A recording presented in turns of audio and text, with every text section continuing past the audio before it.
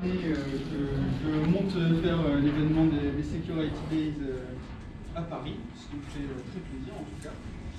Et au sujet de la présentation d'aujourd'hui, je vous l'ai déjà dit, je vous remercie d'être là et de vous intéresser à ce sujet. Je m'appelle Clément et j'ai plusieurs casquettes au, département de, de cybersécurité. L'une de ces casquettes, c'est le test d'intrusion. C'est euh, le sujet dont on parle aujourd'hui. Je suis aussi en charge du coup d'accompagnement de l'OIV euh, monégasque et euh, de certaines questions de consulting en protection des données personnelles. Le timing initial, c'est qu'on est ensemble euh, 45 minutes, moins du temps de questions, d'échanges. en tout cas, j'espère que ça vous aura suffisamment intéressé pour qu'on échange. Euh, et euh, la question du jour, c'était comment utiliser le test d'intrusion comme outil pour euh, améliorer la sécurité de- des sociétés. J'ai quelques messages très simples à vous faire passer durant cette présentation, et notamment comment l'intégrer dans une, dans une stratégie qui permette, avec d'autres outils, de renforcer votre sécurité. L'agenda d'aujourd'hui, donc je vous présenterai rapidement euh, le service euh, cybersécurité de l'avant-garde. Ensuite, donc, le test d'intrusion comme outil pour renforcer la sécurité, on va répondre aux questions pour ceux qui ne connaissent pas, mais euh, qu'est-ce que le test d'intrusion? Pourquoi il est intéressant de demander un test d'intrusion? Essayer de démystifier certaines craintes liées au test d'intrusion, on verra ensemble et euh, expliquer le déroulement d'une prestation. Ensuite, euh, on a prévu donc une, étude de cas. Donc on va simuler un, petit euh, test d'intrusion sur un tout petit périmètre. Ça sera l'occasion d'illustrer certains points qu'on a vus avant. Et ce sera aussi l'occasion de vous présenter dans ce cas précis les livrables que vous récupérerez et du coup de discuter sur dans quelle mesure justement ça peut aider à améliorer sécurité. Euh, on aura ensemble une petite conclusion pour reprendre les messages euh, que je souhaitais faire passer et euh, donc on aura un temps pour échanger sur les questions et les réponses. J'espère que l'agenda vous convient et qu'on va pouvoir démarrer comme ça. Et bien entendu, s'il y a des questions, n'hésitez pas. Donc, concernant les centres de services d'avant-garde, la cellule de cybersécurité est une cellule indépendante euh, mais c'est aussi une cellule transverse. C'est-à-dire que Avant-Garde a de nombreuses activités. Euh, et en fait, la- l'émission de la cybersécurité, c'est évidemment d'intervenir auprès de nos clients sur des sujets de sécurité pure, euh, mais c'est aussi d'apporter euh, notre conseil en matière de sécurité sur euh, tout ce qui est gestion de projet, développement d'applications. On a vu tout à l'heure que on allait euh, passer la portée de code source euh, passive, aussi bien pour l'infogérance, pardon, et euh, en ce qui concerne les réseaux. Vous aviez une question ou pas du tout? Monsieur, J'ai cru vous voir euh, lever la main. Non, plutôt moi. Tu aurais pu commencer maintenant. Donc l'idée, en tout cas, de, de cette diapo, c'était de dire que malgré l'indépendance de notre service, on intervenait aussi dans les autres euh, centres de services de, de la euh, concernant notre centre de service à proprement parler, donc on a euh, plusieurs euh, certifications en matière de sécurité, euh, 14 maintenant si je ne dis pas de bêtises, je directeur n'ose pas les sourcils donc je ne dis pas de bêtises. Et en ce qui concerne l'intrusion pure, donc on a trois certifications qui sont le CEH et l'OSCP et l'OSCE qui sont plutôt bien, bien reconnus dans l'industrie. On a le plaisir de, de jouir d'experts en tout cas pour, euh, pour accompagner les sociétés euh, en matière d'intrusion. Rapidement aussi, euh, les secteurs des clients chez lesquels nous intervenons, donc à Monaco et en France, vous voyez que c'est assez varié. Je ne vais pas vous lire tout ce qu'il y a sur le slide, c'est inutile. Mais ça nous permet en tout cas, déjà d'une part d'être confrontés, en matière d'intrusion, ça nous permet d'être confrontés à des architectures différentes, euh, souvent des technos différentes aussi en fonction des secteurs et euh, à des niveaux de maturité différents aussi, puisqu'il y a des secteurs traditionnellement, euh, banques notamment, où il y a un niveau de maturité en termes de sécurité parfois plus, plus important que dans d'autres Aussi parce qu'ils sont soumis à différents. Donc maintenant que je vous ai parlé de l'avant-garde, on passe peut-être au sujet qui vous intéresse plus, qui concerne directement donc l'intrusion pour renforcer la sécurité. Le premier volet, comme je vous l'avais euh, proposé, c'était de discuter sur ce qu'est le test d'intrusion. Alors, déjà, je ne sais pas si parmi vous, euh, il y en a peut-être qui, le font, ou qui le font faire, ou euh, qui, en tout cas, savent déjà de quoi il s'agit. Est-ce qu'il y a aussi des gens qui connaissent le sujet, ou tout le monde est parfaitement novice sur le point? D'accord. Donc, vous avez bien fait de venir. C'est une belle démarche. Alors, on a beaucoup parlé de, sécurité avec la table ronde pour ceux qui y étaient. Euh, donc, c'était plutôt le côté défensif, on va dire, de, la sécurité informatique. Euh, en ce qui concerne l'activité de test d'intrusion, en fait, on est les méchants. Nous, on a plutôt cette euh, démarche qui s'appelle la, sécurité offensive. Le principe, c'est de pouvoir mettre en lumière des vulnérabilités présentes sur un système d'information euh, en se mettant dans la peau d'un attaquant pour chercher à les exploiter, on va dire, de manière réelle. on verra dans quelles limites euh, plus tard. Mais l'idée, c'est vraiment de se dire, si euh, je désire attaquer un système d'information et que, je veux savoir jusqu'où un attaquant peut aller, autant louer une personne qui a ce savoir-faire et qu'elle se confronte à mon système pour que j'ai concrètement une idée de ce qu'il est, possible de, faire et comment mon système peut résister. Ça, c'est le, le, principe. Le test d'intrusion n'a pas euh, vocation à être exhaustif comme peut l'être un audit qui s'appuie sur un référentiel qui va être peut-être plus concret, plus complet, et aborder euh, de nombreux sujets. Par contre, euh, le test d'intrusion en général est plus percutant, en tout cas en termes de démonstration. Le test d'intrusion peut être réalisé depuis l'extérieur de votre système. Admettons que votre scénario, c'est que vous avez un, site web euh, qui est exposé euh, sur l'Internet, euh, vous souhaitez le faire tester par quelqu'un qui n'a pas d'accès interne à ce site, donc depuis l'Internet, on va essayer de, l'attaquer, voir s'il est possible d'en tirer des informations, de prendre la main sur le serveur ou mener une autre malveillance. On peut aussi le faire, ça nous est arrivé chez certains clients depuis l'intérieur parce que en fait, le client avait euh, souvent des consultants qui euh, venaient dans son bureau et qui se, enfin dans ses bureaux pardon, et se branchaient sur, euh, sur leur réseau. Donc on a eu ce type d'engagement chez nous. prenez un bureau comme un consultant, connectez-vous et voyez ce que vous pouvez faire. Donc ça c'est le côté externe et interne. Il y a aussi donc des approches qu'on appelle boîte noire, boîte grise et boîte blanche qui représente en fait le niveau de connaissance d'un attaquant au préalable sur euh, votre architecture. Donc si on reprend le cas d'un attaquant euh, qui s'intéressera à pirater un site internet, qu'il ne connaît pas, euh, on va être plutôt dans le scénario pardon, externe et boîte noire. Donc pas de connaissance préalable mis à part l'adresse ou l'IP du site euh, totalement, euh, totalement à l'inverse, je ne vais pas commencer par là, mais boîte grise, vous pourriez prendre euh, un scénario depuis l'intérieur de la cible avec pourquoi pas un employé qui a une certaine connaissance de votre système d'information, qui a peut-être déjà un compte utilisateur sur votre domaine, et donc voir aussi quelles actions malveillantes pourraient être menées. On a déjà fait ce genre de scénario aussi. Euh, et le scénario boîte blanche, là en l'occurrence, donc euh, vous mettez à disposition de l'auditeur tout ce que vous avez comme documentation technique, une explication préalable de votre système, etc. Et là l'idée c'est plutôt de dire, avec son savoir, on va dire, vous enlever complètement cette couche de, découverte que va devoir faire l'auditeur pour savoir à quoi il pourrait accès, avoir accès, pardon, vous lui ouvrez le système et c'est à lui de dire euh, ce qu'il voit comme vulnérabilité dans ce que vous lui présentez comme architecture c'est pas exactement le même genre d'exercice. Ça ne correspond pas au même euh, scénario. Par contre, euh, suivant ce que vous poursuivez comme objectif de sécurité, ça peut être intéressant de prendre euh, l'un ou l'autre des scénarios.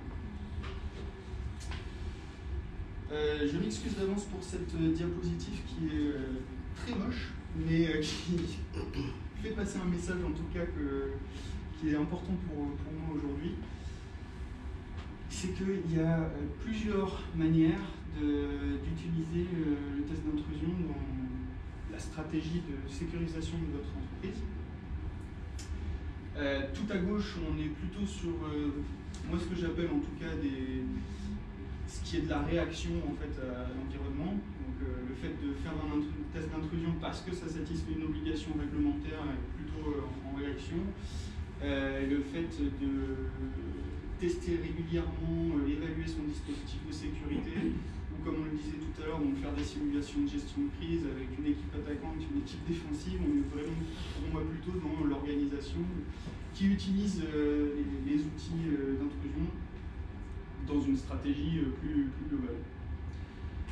Les deux points qui sont en gras, à notre avis, donc le fait de mettre à l'épreuve des composants du SI avant de la mise en production, ou bien le fait d'évaluer régulièrement son dispositif de sécurité, ça serait, pour nous, on va dire, les éléments euh, moteurs principaux qui devraient susciter la demande d'un test d'intrusion. Euh, en vérité, quand les entreprises s'adressent à nous, on se rend compte qu'on est plutôt euh, sur la gauche, c'est-à-dire soit on souhaite prioriser des actions de sécurité, c'est-à-dire, encore une fois, un service sur Internet ou bien une évaluation interne des mesures de sécurité. Mais on ne souhaite pas faire un audit qui est peut-être un peu long, qui est peut-être un peu, un peu cher aussi. Euh, par contre, on veut une approche pragmatique pour prioriser des actions de sécurité. On va décider de faire un premier test d'intrusion, peut-être sur un petit périmètre, euh, pour avoir en fait à l'issue de ça une feuille de route euh, un peu concrète et mettre en place déjà des premières mesures de sécurité. à l'inverse, on nous a appelé aussi parfois à l'issue d'un audit ou parce qu'on fait régulièrement euh, tourner des, scanners de vulnérabilité euh, pour euh, vérifier soit qu'une faille soit vraiment exploitable, soit pour confirmer les corrections qui ont été apportées à l'issue de l'audit. Donc, l'idée c'est vraiment de dire en fonction de vos, priorités et du niveau de maturité qu'il y a chez vous, d'utiliser le test d'intrusion à différents objectifs, même si euh, l'exercice va être sensiblement le même.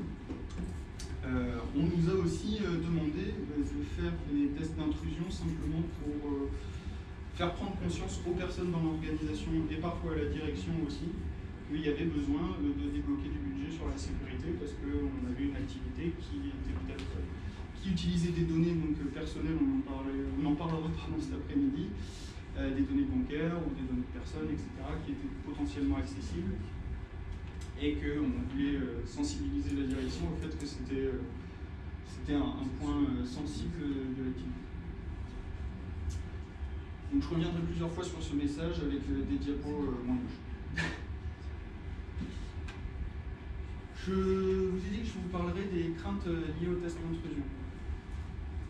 Euh, ce qu'on peut entendre, c'est que les experts vont perturber l'activité de la société. Si euh, je fais de l'intrusion sur un système, euh, ça va perturber ma production, je vais avoir des problèmes, je ne sais pas comment je vais mettre en œuvre. Les auditeurs qu'on a pour le test d'intrusion, dont je fais partie, par exemple, n'exploitent pas de faille de déni de service, à moins que ce soit clairement un de vos objectifs de tester ça. Donc on ne le fait pas. Euh, et surtout, euh, on n'utilise pas une pléthore d'outils qu'on ne maîtrise pas en lâchant euh, tout ce qu'on peut sur le, sur le SI. Et si jamais, vous le verrez dans le déroulement de la prestation, on a besoin de réaliser une action dont on pense qu'elle peut perturber la production, si vous ne nous avez pas mis un environnement de pré-prod à, disposition, en fait, on, on demande toujours d'avoir un contact technique pour pouvoir appeler et savoir si on peut mettre en œuvre en exposant quels sont euh, potentiellement les, problèmes qu'il pourrait y avoir. Donc ça permet de limiter quand même le, champ de la perturbation des activités. On nous dit parfois aussi que le test d'intrusion va être très cher. Euh, si vous faites un énorme test d'intrusion, effectivement, je pense que ça va être très cher. Mais vous avez l'occasion de maîtriser votre périmètre. Il est, euh, à l'inverse d'un audit, encore une fois, sur lequel vous pouvez maîtriser le périmètre quand même dans une certaine mesure. Vous pouvez nous dire, je souhaite pas tester l'ensemble de mon infra, je souhaite tester un serveur, je souhaite tester qu'une application sur ce serveur, ou bien je souhaite euh, tester mon réseau interne, on peut discuter ensemble pour voir comment adapter le périmètre, mettre un nombre de jours qui soit satisfaisant pour faire l'évaluation. Et du coup, ça vaut vraiment le coup qu'on se parle pour savoir comment on va dérouler la mission et essayer de l'adapter. Parce qu'encore une fois, ça peut vous permettre d'avoir une première feuille de route sans forcément euh, devoir mettre un gros billet dans un, un audit de sécurité complexe ou très large. On entend aussi qu'on n'a pas besoin de tests d'intrusion parce qu'on utilise des scanners de vulnérabilité. J'insiste un peu là-dessus et la démonstration le, montrera. Euh, le scanner de vulnérabilité a ses limites. Il y a des, deux raisons. La première, c'est qu'il y a des failles que le scanner de vulnérabilité n'exploitera pas. Et la deuxième, c'est que le scanner de vulnérabilité n'est pas un humain, ne comprend pas le contexte des choses. il peut remonter euh, certaines vulnérabilités, pas pouvoir en démontrer l'impact. Donc, euh, il va y avoir euh, évidemment une évaluation euh, d'une CVE dans certains cas. Dans d'autres cas, comme prends l'exemple d'une injection SQL, c'est assez évident. le scanner va tenter d'injecter ça dans le champ. Si, suivant comment l'application se comporte, il va vouloir remonter ou pas.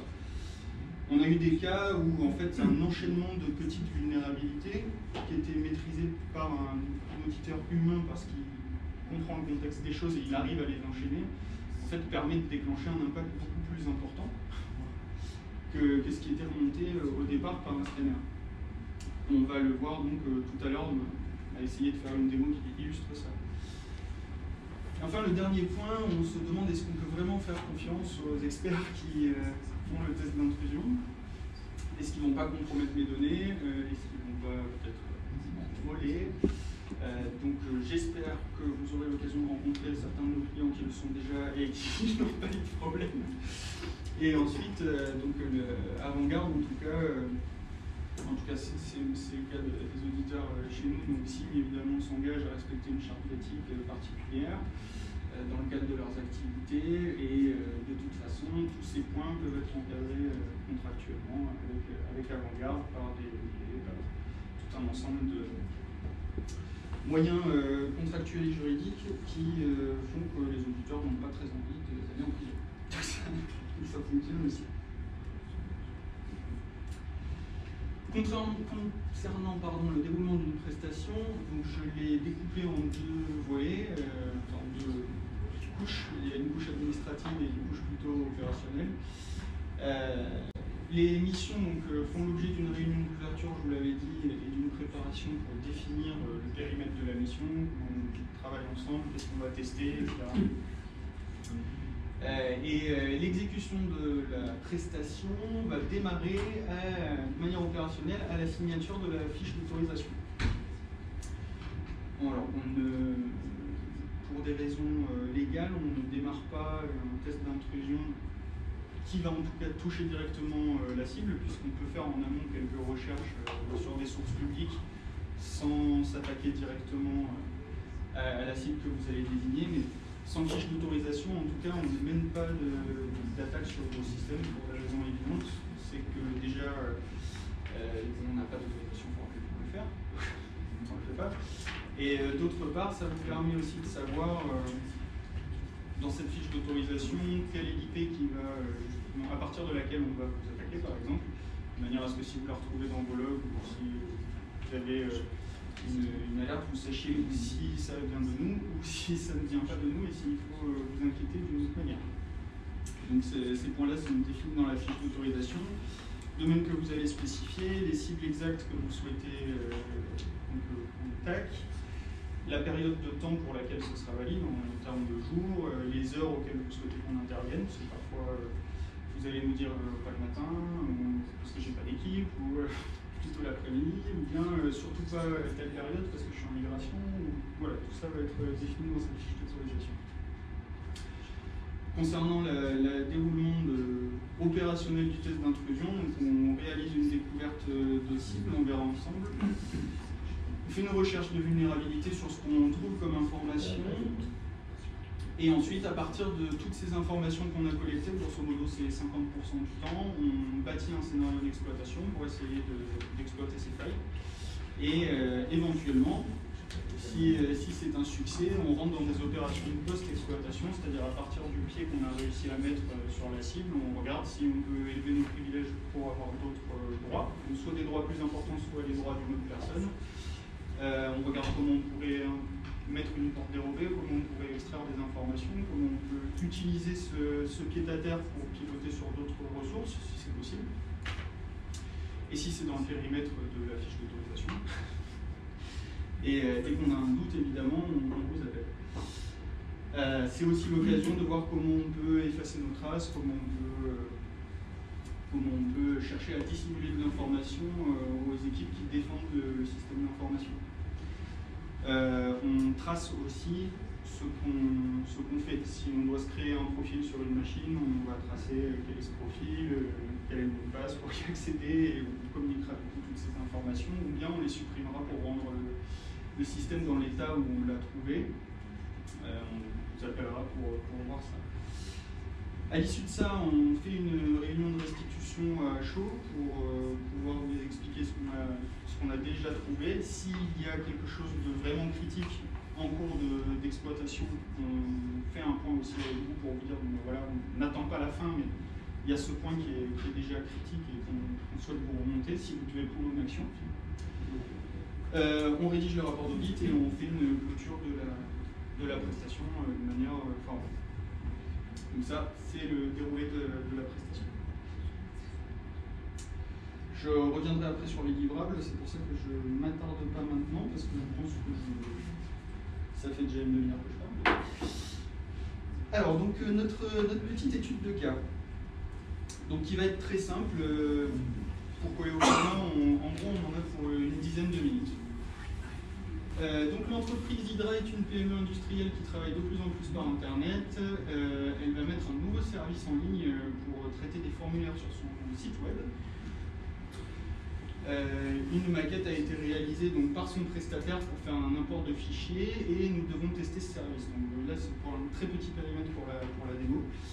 Euh, vous voyez sur le schéma, ça n'a trompé personne que 192.168, c'est pas une adresse qui est valable pour Internet, mais c'est l'adresse qui est dans la, dans la démo. Donc je vais m'asseoir et je vais faire une petite rapide démonstration. Vous y voyez rien. c'est joli quand même, hein, mais... C'est chouette, mais c'est vrai que c'est pas ça que j'avais envie de vous montrer. Windows P.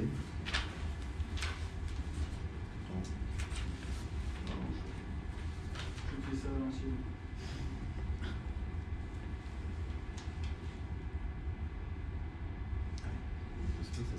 Alors, donc vous y voyez, c'est parfait.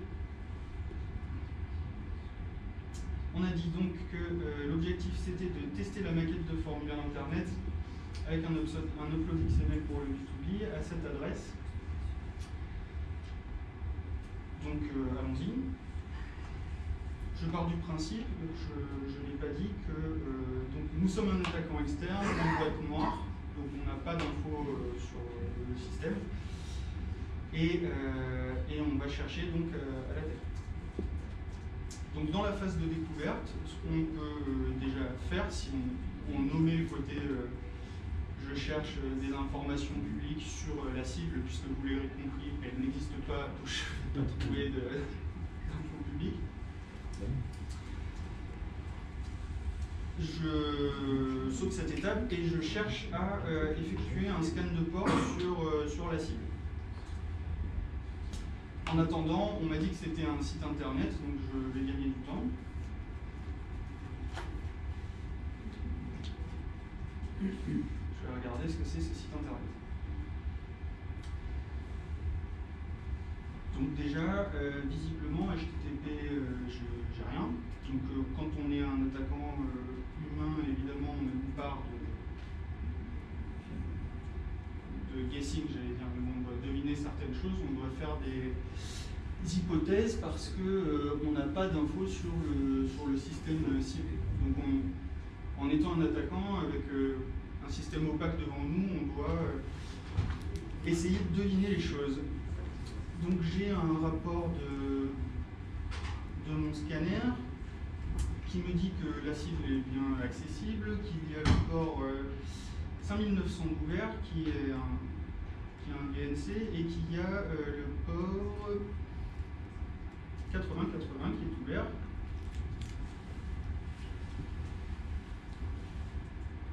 Donc c'est très bien, effectivement, je tombe sur la maquette de la compagnie Hydra, donc qui est une enregistration, euh, un enregistrement B2B.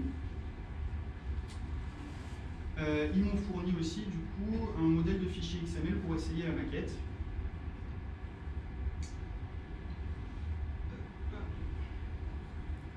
Alors forcément ça va euh, un peu vite. hein. C'est un peu direct comme, euh, comme scénario et comme exploitation, mais bon. Donc vous voyez que le, fichier donc, me permet de- d'uploader un, formulaire user avec les, les champs qui sont là. Alors Didier Martini, c'est mon collègue qui fait de l'intrusion euh, avec nous. Donc c'est parfait, Euh, on va euh, importer ce fichier save.xml pour essayer la fonctionnalité. Et effectivement donc, il remplit les champs avec euh, Didier Martini Monaco. Parfait, jusque là on se dit la maquette fonctionne. Maintenant, nous, on est un attaquant et une des, failles qu'on connaît sur euh, l'upload XML, c'est une faille qu'on appelle XXE, qui consiste à créer une entité dans un fichier XML et qui, euh, et qui veut que euh, en fait, on puisse du coup manipuler des, informations, vous allez voir qui ne sont pas euh, prévues à la base. Donc je regarde déjà ce que j'ai récupéré dans, mon- scanner, donc je vois qu'il a du mal à identifier ce que c'est comme, comme cible. J'ai pas mal de, succès sur un système Windows, pas mal de, de systèmes Linux aussi, donc en gros il est un petit peu paumé. Dans les entreprises, on trouve souvent des, systèmes Windows, donc on fait l'hypothèse qu'on est sur un système Windows, qu'on va essayer de, détourner la fonctionnalité d'upload XML. Donc vous voyez le fichier euh, unsafe.xml qui est censé euh, exploiter une vulnérabilité XXE. Encore une fois, comme on est un attaquant, on fait euh, des hypothèses parce qu'on n'a pas de formation sur le système. Donc chaque tentative d'exploitation en fait peut fonctionner ou ne pas fonctionner. On essaye de, voir ce qu'on peut tirer du système qui nous fait face. Euh, donc là, très simple, on a créé une nouvelle entité qui s'appelle XXE, dont le but est de lire un fichier euh, qui se trouve euh, sur les systèmes Windows de manière courante, donc en l'occurrence système ennemi. Et en fait, une fois qu'il a lu ce fichier, on cherche à le faire afficher dans le champ last name. Donc on y va, on teste, euh, on la vulnérabilité, et il s'avère qu'on a un retour dans ce champ. Donc on se dit, Déjà, euh, le, parseur euh, n'interdit pas la création de nouvelles entités, donc ça veut dire qu'on peut lire des fichiers qui sont sur le serveur et les faire afficher dans le champ euh, first name. Donc ça déjà, ça serait un point dans, dans notre audit de dire on peut faire ça. Euh, par contre, du coup, c'est pas la fin de la mission, on continue à travailler, on regarde ce qu'il y a sur ce, sur ce système. Comme c'est une application web, on n'oublie pas de regarder la source euh, du code pour euh, voir ce qu'il y a derrière. Donc quand on regarde la page HTML, on se rend compte qu'il y a un, petit commentaire là qui, qui s'affiche pas, que vous n'arrivez peut-être pas à lire, qui marque euh, mon dossier super secret. Ça a l'air intéressant. Donc on va voir de quoi il s'agit. Alors bêtement, euh, vu qu'on a vu qu'on on est capable de lire des fichiers là maintenant qui sont euh, sur le serveur, on va dire bah, très bien, on essaye euh, de faire disons dossier et on a dit super secret.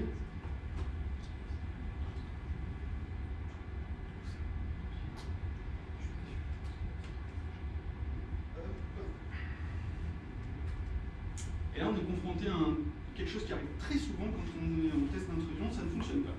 Donc on s'est dit que ça ne, ça ne marche pas, c'est pas la bonne manière de faire. Et c'est là où en fait ça devient intéressant d'avoir un humain et que le, scanner euh, ne, ne fonctionne plus en fait. Qu'on se dit ok très bien, alors qu'est-ce qu'il y a sur ce document? Euh, On dit, euh, il y a une note qui dit mon dossier super secret, très bien. Et on se dit tiens, la maquette elle est faite par MIS. Et on a vu qu'on était sur un système Windows. Donc sur un système Windows, mon dossier, en fait, il est dans C-User. Et euh, par exemple, moi je m'appelle Clément, il est dans C-User Clément, j'ai mes documents, etc. Donc si en fait euh, c'est MIS qui a fait la maquette, ça vaut le coup d'essayer. Je fais l'hypothèse que dans son dossier, en fait, c'est C-User, MIS, et je vais trouver le fichier. Donc ça vaut le coup d'essayer. Je, je fais. Je fais C-User, MIS, super secret.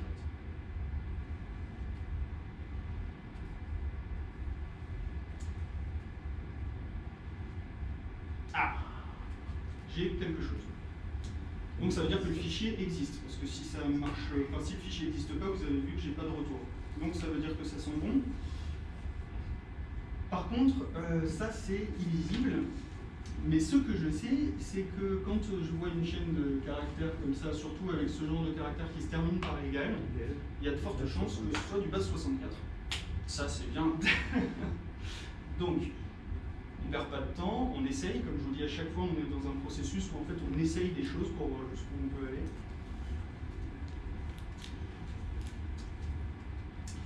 Donc, j'essaie de décoder ça. Base 65, ça va pas marcher. Et base 64, ça me donne, quand je le décode en base 64, j'ai perdu, Monaco 98. Tiens, Monaco 98, euh, ça va bien me le mot de passe, ça. Donc d'accord, j'ai euh, MIS, j'ai vu son dossier, euh, j'ai un mot de passe, donc j'essaie de rassembler ce que j'ai trouvé comme, euh, comme information précédemment. Et je me dis, tiens, précédemment, j'ai vu qu'il y avait un service, quand j'ai scanné au tout début, et pas que le service internet, il y avait aussi un service DNC, est un service d'accès à distance. Donc là, on se dit que vraiment, ça commence à être pas mal. On va utiliser un client, du coup, puisque ça vaut le coup. Non, ça, ça vaut pas le coup. Alors, le password, on a ici Monaco 98, grosse inventivité du coup de passe. Ah bah voilà, taillé. Donc là, du coup, on vient de se connecter sur, euh, sur le site. J'ai les gros doigts aujourd'hui. Donc c'est bien euh, l'adresse qu'on nous avait donnée. Et euh, en plus, du coup, ce qui est bien, c'est que MIS est administrateur, donc en gros j'ai tout les Donc avec ces différentes phases, en essayant de faire des hypothèses, en essayant d'avancer en exploitant une faille, euh, on peut finir par prendre la main sur le serveur. Donc c'est la fin de, de ma démonstration cousue de fil blanc. Je vous remercie de ne pas vous être endormi.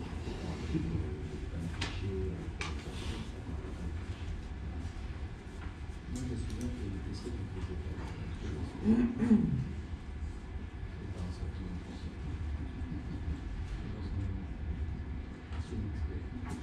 Dans Ok, donc à l'issue de, ce mini-test d'intrusion euh, vient le moment de la restitution. Et donc tout ce travail qui a été invisible, on va dire entre guillemets pour vous clients, euh, il faut qu'on vous le restitue. Et donc la manière dont on va vous le restituer, c'est par une présentation et un rapport. C'est ce qu'on disait tout à l'heure. Donc pour vous donner des extraits, euh, en termes de livrables, dans la présentation de clôture notamment, on a une synthèse des risques. Donc on vous explique quel est le risque le plus élevé qu'on a trouvé et on vous montre sur une matrice que les risques sont évalués en fonction de la facilité d'exploitation et de l'impact. On les classe. Euh, évidemment là c'est un extrait donc vous avez euh, des, détails de, ça dans, dans la présentation. Mais ça vous permet d'avoir une idée de ce qu'on de ce qu'on a euh, trouvé et, euh, des points qui seraient à corriger si vous êtes plutôt sur euh, quelque chose de facile à exploiter ou pas.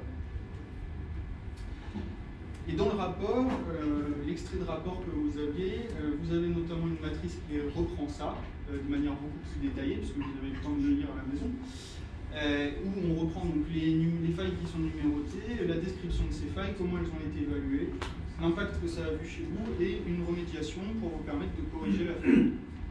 Ça, ce sont les livrables que, vous recevez. Enfin, les extraits de, de livrables. Concrètement, dans les livrables, vous avez donc dans la présentation de clôture un rappel des objectifs, du périmètre évidemment, la synthèse des résultats qu'on a vus ensemble, euh, et le détail de l'exploitation des failles qui sont euh, sous forme de, fiches en fait pour chaque faille, avec euh, les captures d'écran, ce qu'on a trouvé, les recommandations. Pour, pour faire de l'audit et du, test d'intrusion, concrètement, ce genre de résultat n'amène pas de discussion comme il peut y en avoir parfois en audit. Est-ce que vous êtes sûr que le point, quand même, vous l'avez mis critique, etc. Là, ça a l'avantage d'être factuel, il n'y a pas de discussion, la preuve est. Et, et, donc, on cherche, on rentre plutôt tout de suite dans une discussion sur comment on résout le problème que de rentrer dans une discussion sur est-ce que le point est vraiment critique. C'est euh, quand même, on gagne du temps. Euh, et sur les rapports de mission, du coup, euh, vous avez donc une synthèse de résultats, on vous fait le narratif de la manière dont on a exploité les failles pour que les équipes techniques, alors là pour le coup il y a vraiment des outputs d'outils, il y a des commandes, c'est très technique, à l'inverse de la synthèse des résultats qui est plutôt exécutive. Mais ça permet aux gens de reproduire les, steps de l'attaque et voir euh, ce qu'il faudrait corriger. La matrice récapitulative des risques qu'on a vus, un ensemble de recommandations et en annexe, si on a dû programmer des scripts, des codes, etc. pour exploiter des failles, on a les euh, ce qu'on croit, c'est que cette manière d'aborder la sécurité, ça vous permet déjà d'avoir une première feuille de route, comme je vous le disais en intro, avant de, faire appel à un audit peut-être, et donc de, en un petit nombre de jours en tout cas, de déjà avoir une, approche en tout cas sur votre sécurité qui permettra de corriger ce, à quoi s'intéresserait un attaquant. Je ne dis pas que vous serez nickel surtout, mais ça vous permettra déjà de dire, ok, dans la démarche d'un attaquant, il s'intéresse à ceci, cela, vous l'avez vu dans la, mini-démo. Si je euh, j'ai pas de bannière de service, euh, ça va m'embêter de savoir que c'est un BNC et que je peux me connecter à distance pour que je cherche. Si euh, j'ai déjà corrigé l'implémentation de mon upload XML, ça veut dire que je n'ai pas la première porte d'entrée, donc je suis déjà plus protégé, etc.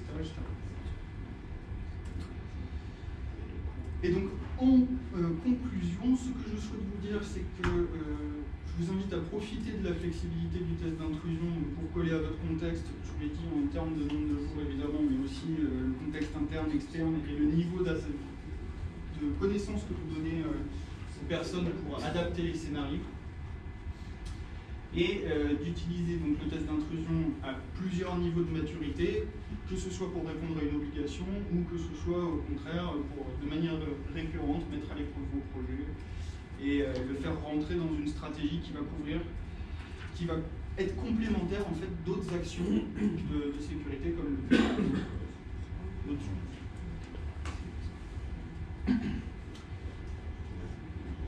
Si vous n'avez pas de questions maintenant vous voulez les poser plus tard, ça marche aussi. Mais on a, on a un moment là pour euh, échanger si vous avez des questions sur tout ça. Oui. Comment, comment, vous calibrez la durée du test? Parce que ça peut être euh, un jour ou ça peut être. Euh, Exactement. Alors, ce qu'on calibre, c'est surtout euh, déjà par rapport à, l'étendue. Qu'est-ce qu'on va regarder? Est-ce qu'on a énormément de serveurs, énormément de services? Est-ce qu'on va s'intéresser juste à une application? Donc ça déjà, ça va nous permettre de calibrer la préparation. Puis aussi, ça va être en fait le budget qui va nous permettre de, dire euh, euh, est-ce qu'on va passer vraiment du temps à chercher à exploiter euh, la cible ou pas. Après, il faut qu'on trouve un entre-deux parce que. Alors, quand j'ai calibré la mission, c'est le client peut vous dire moi je veux un test d'intrusion, mais un jour ou 15 jours. Donc c'est pas pareil. Ben, voilà, en fait, c'est là où je veux nous venir. Déjà, en termes d'effort, c'est pas pareil. Mais surtout, on va essayer de voir avec le client est-ce que vraiment c'est pertinent de passer un jour sur, par exemple, un grand service. Euh, ça va pas être euh, peut-être malin de se dire on va passer un jour à faire de la découverte et puis euh, juste une toute petite phase d'exploitation, alors que le service il peut être très critique pour la, société. on va, si on a beaucoup de jours, peut-être le concentrer, mais mettre aussi plus d'auditeurs dessus. Parce qu'en fait, on parle en jour sur les prestations. Donc, si, si, on a deux personnes à mettre pendant une semaine, forcément le budget va être différent. Parce que nous, on l'a on l'a calé pour un jour à la mission, en termes de cible. du coup, on a un budget euh, qui va être euh, dépendant de ça. Je sais pas si ça répond à la question. Oui. mais pas que. Mais pas que. Euh, quelle, place pour le, social engineering? Est-ce que c'est vous l'utilisez par défaut? Ou est-ce que c'est à la demande du client? Typiquement le mail de phishing par exemple. C'est à la demande du client. C'est à la demande.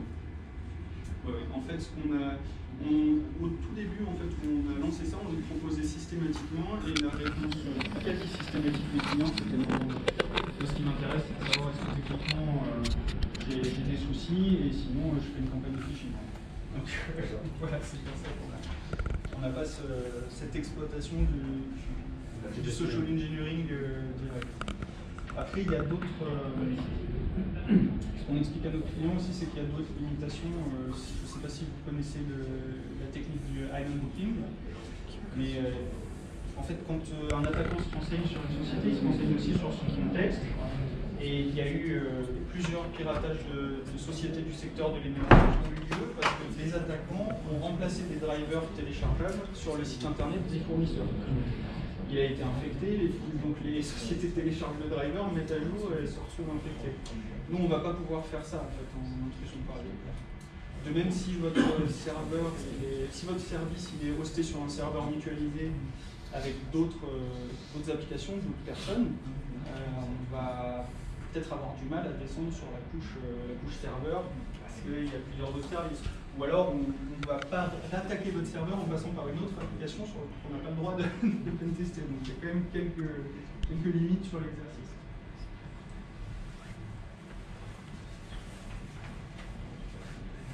Le taux de succès Alors le taux de succès, on n'a jamais rien trouvé. On n'est pas toujours rentré. Par contre, on a toujours eu des remarques à faire qui permettent d'améliorer la sécurité, que ce soit de la dissimulation de bannière, que ce soit de dire tiens, on a vu qu'on a passé euh, trois jours avant de forcer telle authentification alors que euh, ça ne devrait pas être possible, on devrait être bloqué, etc. Donc même si on ne rentre pas, on a quand même des remarques à faire qui permettent d'améliorer la sécurité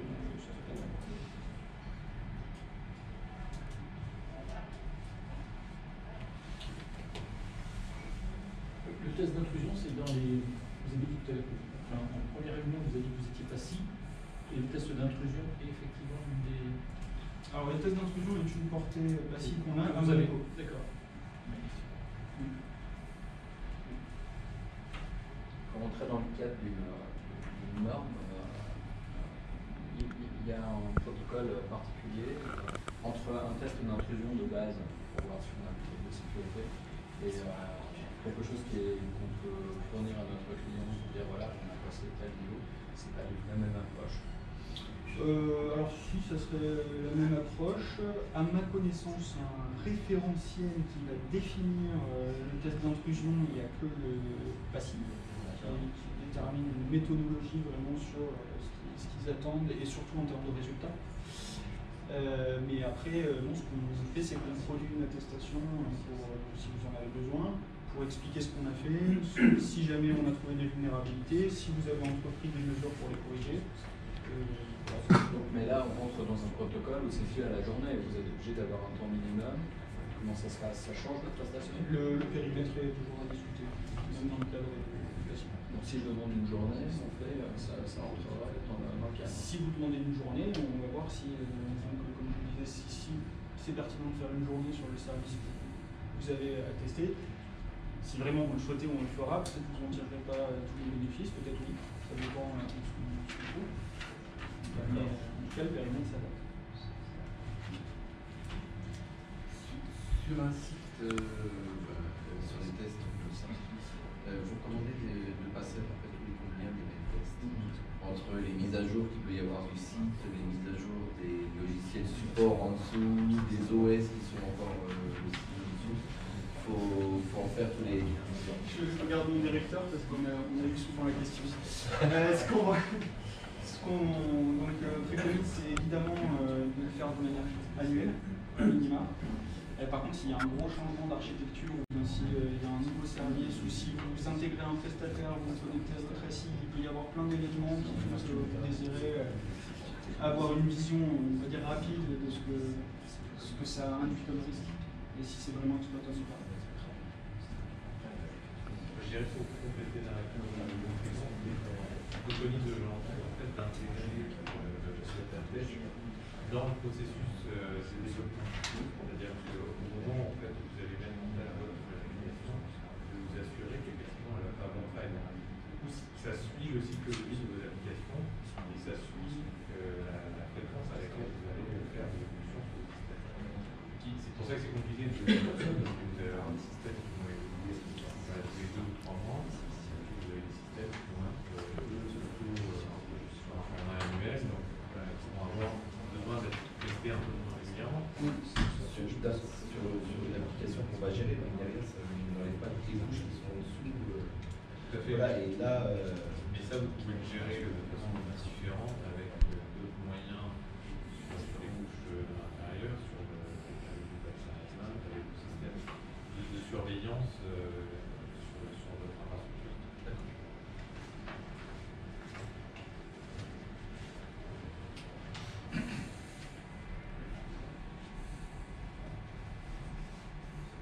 Si c'est bon pour vous, bah, je vous remercie d'avoir suivi euh, cette présentation jusqu'au bout. Et je vous souhaite une bonne, bonne journée pour la suite de ce qu'on a prévu.